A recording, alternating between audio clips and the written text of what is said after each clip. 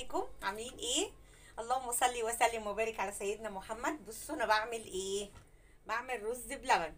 جبت كوباية رز وحطيتها اتسلقت. أهي بصوا اتسلقت وبقت طرية خالص خالص. أهي كوباية رز وبتسويها في المية بس. أهو. وحطيت لها كوباية سكر. يبقى كوباية رز وحوالي كيلو مية. وحطيت بس أنا حاسة إن هو دلع. ماشي وجايبة معايا كيلو ونص إيه؟ لبن تمام كده؟ وجايبة معايا كريم شانتيه.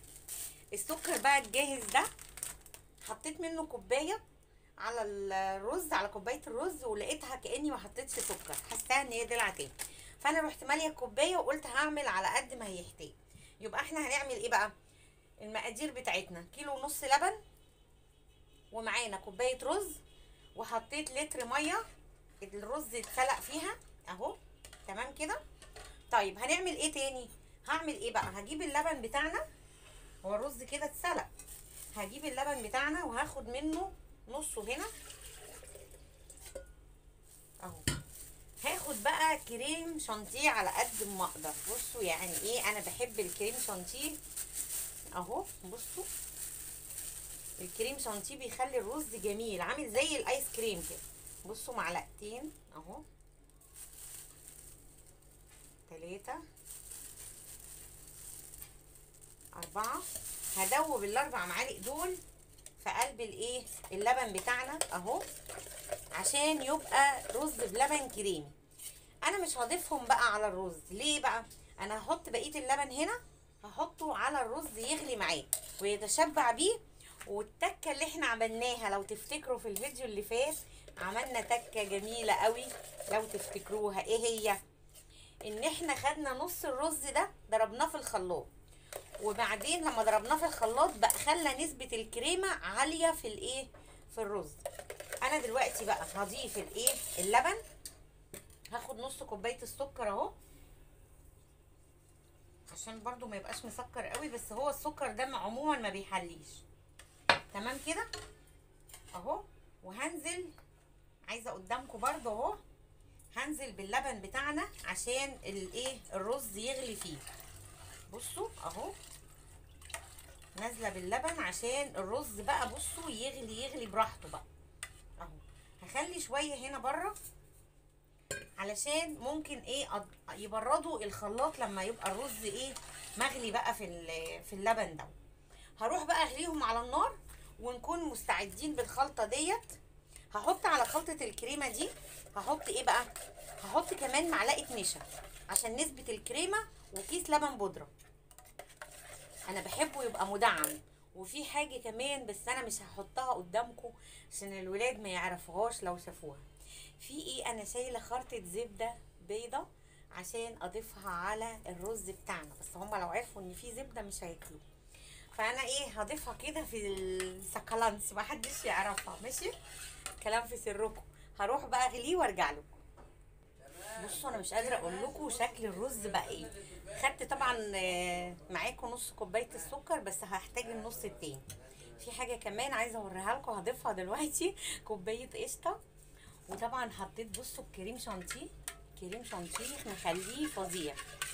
وحطيت عليه بقى دلوقتي كمان معلقة نشا. أهو. هروح بقى أضيفهم عليه. وهجيبه لكم بقى. وطبعا أنتوا فاكرين الكوبايات اللي هي بتاعت الرز بلبن؟ إيه رز بلبن. بتاعت الزبادي هنشغلها دلوقتي ونحط فيها رز بلبن. تمام؟ عايزة بقى إيه أقول لكم عاملة شوية رز هتاكلوا صوابعكم وراهم. وهنا طبعا بصوا زي بعد الرز بتاعنا ما اتعمل. مش قادرة أقول لكم بصوا شكله وجماله سخن مولع. هنزل بقى بكيس الفان... الفانيليا. كنا بنضيف الفانيليا أثناء ما هو كان بيستوي بس كانت الريحة بتاعتها مش بتظهر قوي. لكن جربي كده تضيفيها بعد ما تنزليه من على النار. بصوا. أهو الريحة حتى بانت اهي. أهو بصوا. ما شاء الله كده خد كوبايتين كوبايتين سكر. بس السكر اللي هو الفاخر دوت بحسه إن هو مش بي مش بيحلي قوي. بصوا بقى هننزل بقى كده إيه على العبوات بتاعتنا. أنا جايبه العبوات دي عشان عايزه اعمل رز فرن. بصوا اهو. عايزه اعمل عبوات للرز في الفرن. اهو أنا بعمل معاكم بس عشان تشوفوا الايه الموضوع. بس هو لسه الرز أصلا سخن جدا.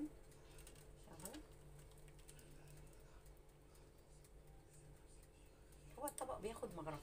بس أنا عايزة أزود له شوية. بصوا ما شاء الله رز في منتهى الجمال. بصوا الشكل عايزة أقربه كده.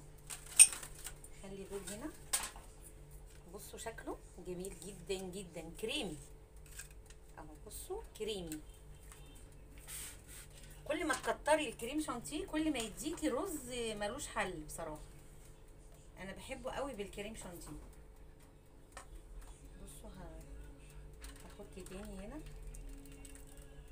آه دي بقى اتملت المعرفه دي لما جت مليانه وقعت هنا اهي بصوا شكل الرز طبعا أنا هدخل بقى دول هدخلهم الفرن عشان الحاجات دي بتتكسر فهحط بقى ال- الاطباق الالومنيوم دي في الفرن وارجع لكم